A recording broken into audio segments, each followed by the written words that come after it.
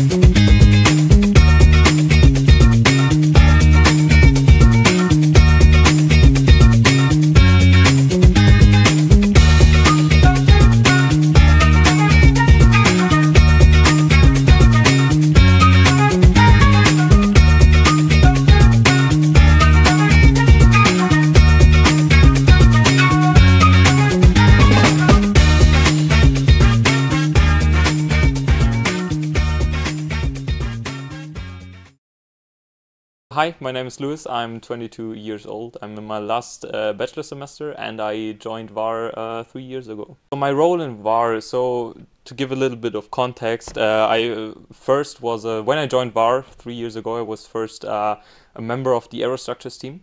Then after, I think, one or one and a half years, I became the aerostructures lead for Project Cryosphere. This is our older hybrid project and I participated in the launch campaign. Uh, and after that, I was asked if I want to take over the project lead for our newer project, the BioLiquid project, Project Nixus. You can see here. my role in Portugal, I was the pad safety manager. So my task basically was to make sure that everyone that yeah was on the pad or operating on the pad, so on the launch pad where we bring the rocket uh, before launch, uh, is safe uh, during all operations. Uh, but yeah, being there, of course, I, I, figured out quite quickly that from a technical perspective and from the, yeah, let's say degree of advancement of the system, we, we had built a really, really, uh, yeah, advanced and nearer to industry standard system as the other teams, for example. So I, I, I had had hopes, let's say. Uh, so I it didn't came to a complete surprise, but uh, yeah, still it was a really really great achievement, and uh, we were extremely happy and proud to to got the award because uh, the design award is basically yeah describes our uh, yeah guidance and rules in the, in the team quite good because we want to push the boundaries and keep on uh, investigating systems that are more industry standard thank you.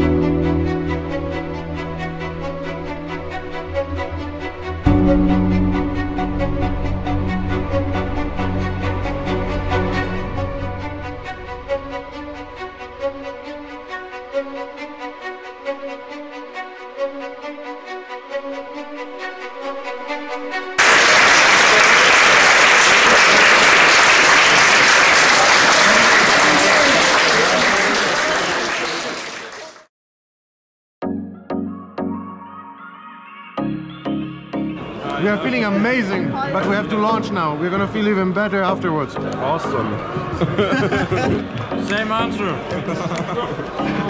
Job isn't done, but great achievement. We are going for it. Yeah, Let's go. Oh, like I don't even know.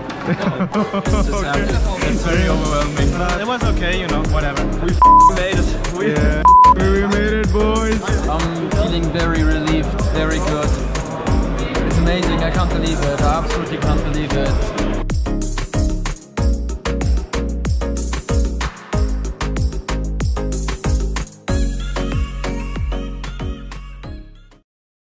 My name is Francesco. I've been leading the rocketry team for between one year and two years, I'm sure. Um, here at EuRoC, I was a range safety officer. So in practice, it meant uh, checking that our launch rail was uh, at the correct elevation, that all the parts were um, correctly assembled. Um, not really, let's say, every bolt, but correctly assembled to perform the flight that we wanted to. And um, then the checking of the vehicle was the largest part um, before the, the actual launch window. Project Nixus um, makes up the next steps in the development uh, for biorocketry, and it's a natural evolution moving from cryogenic, large hybrid rockets to moving to something that is more contemporary, like cryogenic bi-liquid propulsion. Um, the, the development of the EX4 didn't stop with the engine, with the bi-liquid engine. The entire system has uh, seen a novel approach um, that was dominated by the concept of rapid prototyping, which is something that is very relevant in the current um, aerospace industry and especially in the world of startups. Seeing the X4 on, on the launch pad was the coronation of long years of hard work, and especially the last months have been a very intense push for the members. Um, testing, commissioning, manufacturing the final uh, components of the rocket, and then finally the integrated test campaign that uh, represented the final, uh, the final test, like the ultimate test before we actually got on the launch pad.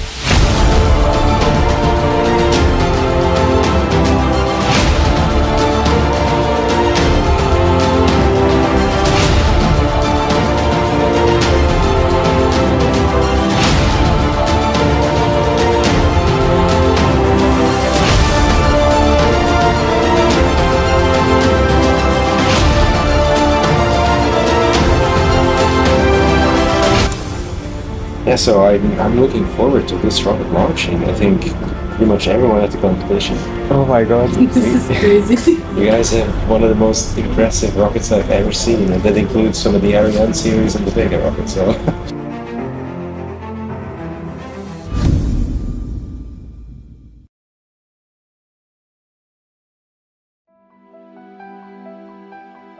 I was in control room looking at the pad, and uh, when we did the final checklist, um, and we actually went go for launch after we checked all the boxes, um, that was like jumping, jumping in, in the void, uh, that kind of sensation. Um, fortunately, we, we, we knew that the attempt would be safe. Um, and we tested the exact scenario that we faced. Um, but the different time constraints that we saw at the competition made it a little bit more difficult to actually have a successful liftoff. Uh, this came with a lot of lessons learned uh, that we definitely will keep in mind for for next time. And this will also, let's say, have a, uh, an application in the actual designs that we will bring to EUROC next year. Um, but I will never forget the jumping in the void sensation when you know your heart skips a beat you send the launch command and you see the countdown starting. It's it's amazing. It's a level of satisfaction and realization of so much hard work that really everybody should have. Everybody should do an activity like this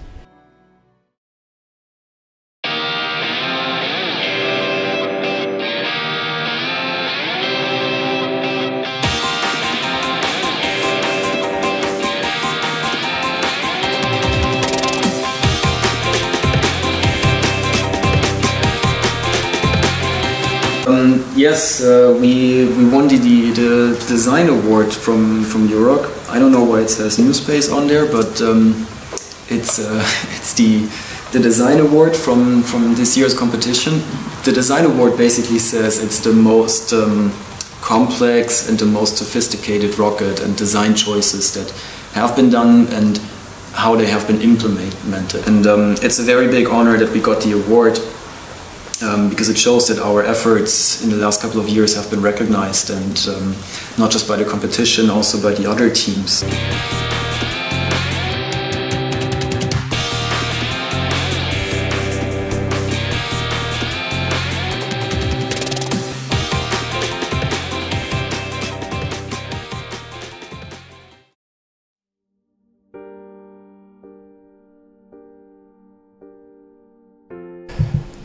Well, first of all, we're launching a freaking 5.5 meter long rocket, which is already in and of itself awesome. Uh, like, not, not a lot of people can say they did that, especially as students. Um, and then also just the, the social aspect, aspect that we just have a bunch of super cool people here and it's super fun to be around them. Yeah, I think what makes me most proud is actually the, the individual people in the team because um, we we had moments where we had really a lot to you know to overcome like a lot of work. Surprisingly that you know didn't drive away people but that actually made us you know made them more involved and want to be part of the team and made us all closer and like uh, build up friendships. And uh, seeing that paying off getting us to this state where we can, you know, go here to Portugal and uh, having some of the, the core team here and integrating this rocket together is just super rewarding. what makes me proud of being a part of uh, rocketry is obviously the the passion we have with developing our stuff our own because uh, almost every part of our rocket is self-developed not much is as well uh, COTS. And um, also all of the people that have this amazing mindset to just build a rocket and get it to the pad and lift off.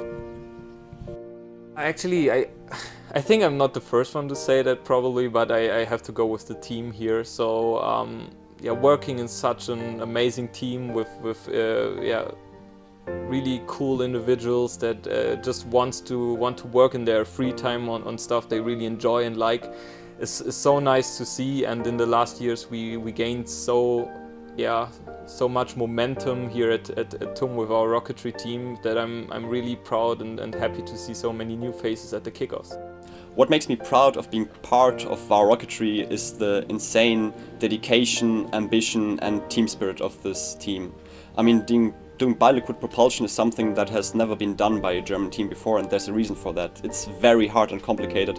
Basically the most difficult you can go when it goes to rocket propulsion.